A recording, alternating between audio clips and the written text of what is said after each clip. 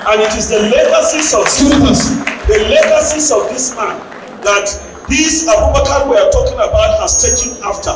Nobody will forget in a hurry the activities and contributions of this man that is standing here. We will not even forget about the grandfather, the late Adamu Genta. Nobody will forget about the legacies and contributions of this people. Ladies and gentlemen, we appreciate the presence of this man here.